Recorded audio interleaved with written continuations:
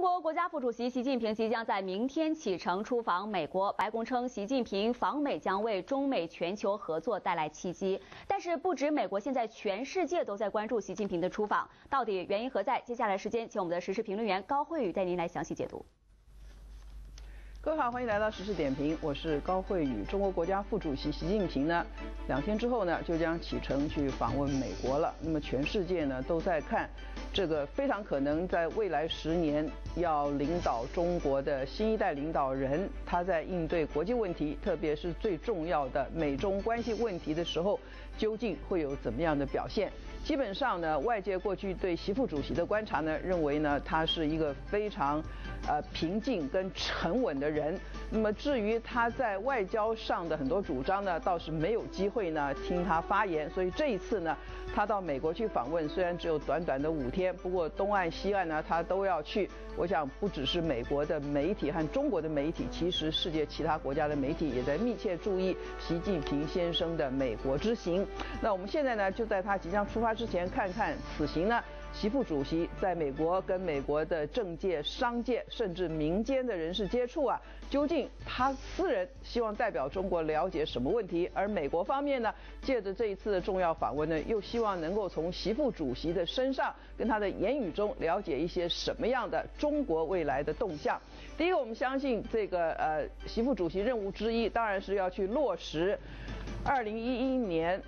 呃，胡锦涛主席在访问美国的时候，跟美国奥巴马总统之间签订的一个中美联合声明。这个联合声明中呢，特别强调了中国跟美国要在经济、文化、科技领域呢要加强合作。而事实上，这一年多以来，中美之间呢，无论在科技、在经济、在学术、在教育的领域，有非常多的交换跟各种研讨会。那么最新的一桩事情就是，美国奥巴马总统亲自宣布了，未来对于中国的民众要申请去美国的非移民签证，也就是所谓的观光签证或者学习的签证或者商务签证呢，要大幅的放宽限制。所以未来呢，中国的人民，除非你要移民，否则去。美国的签证呢，就变得方便很多。对美国来讲呢，也是要这个大赚中国人观光财的一个好机会。那么这是第一个目的。第二个目的呢，当然，呃，习近平先生也急着要向国际间证明。那么今年十月呢，中共的十八大呢，眼看着他就是胡锦涛。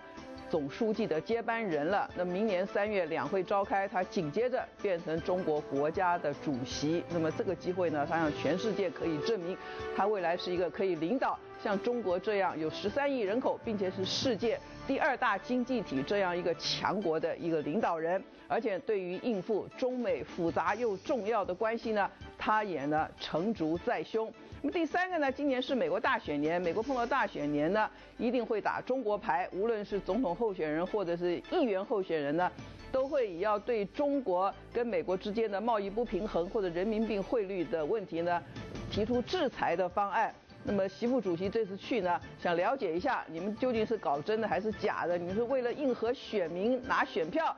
才来打中国牌呢？还是未来你们真的这样做？而且很可能呢，他在美国那几天啊，美国的共和党正在办初选，也许共和党的几个候选人呢，会对反华言论呢有一点收敛，因为呢，来者是客，以客为尊呢，你不能当着客人的面呢，还要去骂他的国家。各各位都知道，去年美国副总统拜登啊，首先访问了中国，跟习副主席之间建立了非常好的私人关系。因为我看到很多媒体都分析说呢，这个习副主席跟拜登啊，在短短的三四天访问中间，数度会面，而且还陪着拜登到了四川去参访。这在过去啊，接待一个国家的副总统来说是很不寻常的举动，也可见呢，习近平副主席跟拜登副总统之间呢，已经有了默契，就是未来我们可能要继续相处很多年，先建立了很好的私人友谊啊。那么这个呃，美国呢，当然急于见到习近平先生，也有太多太多理由。第一个，美国最近这几年一再声称，美国呢结束了伊拉克跟阿富汗的战争以后，要重新回到亚太地区。那么呃，他要跟习副主席解释说，外外面人都说美国回到亚太是为了来对抗中共，那美国可不可以说服这个习副主席，我们回到亚太呢，是为了亚太地区大家共同的福祉，而不是呢来抵抗中国？这是第一个。第二个呢，对于南中国海的问题，最近南中国海大家都跳出来宣称有南中国海的主权，那么。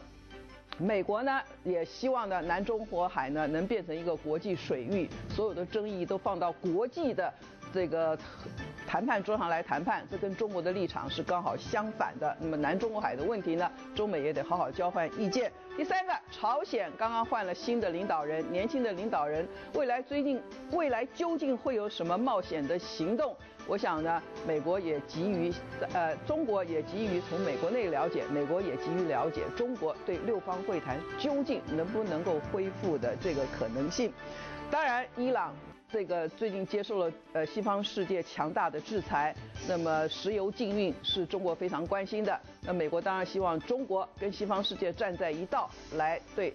伊朗进行石油禁运，那么眼前最急迫的问题是叙利亚的内战的问题。美国当然希望中国在联合国虽然投下了否决权，但是未来是不是能够为了叙利亚的和平呢，能够跟美国一道啊，用双方同意的方式早日结束呢叙利亚的内战？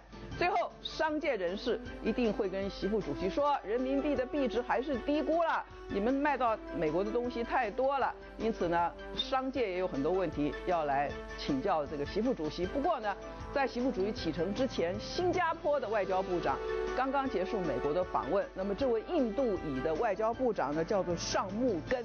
那么他倒是呢，在演讲中公开呼吁美国不要跟中国在亚洲呢来搞所谓的零和游戏啊。他说这个呃，即使今年是大选年，美国也不应该啊。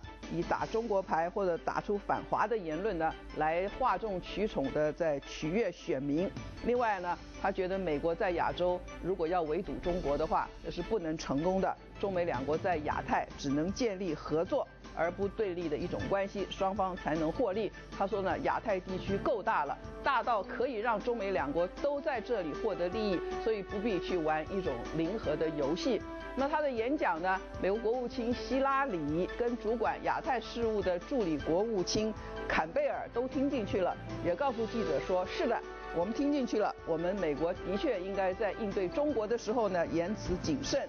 而且他们两个都表示，任何亚洲国家都希望美国和中国能够建立良好的关系。美国在区内的任何战略。”都是基于这个共识，我们不会呢以中国为唯一对抗的对象，也不会玩零和游戏。那我们就看看这次习副主席到达美国以后，跟这些重要美国政界领导人见面以后，他得到的印象是不是如美国国务院的这些高官所讲的一样了？这是今天的时事点评，谢谢您的收看。好的，谢谢高慧宇的详细解读。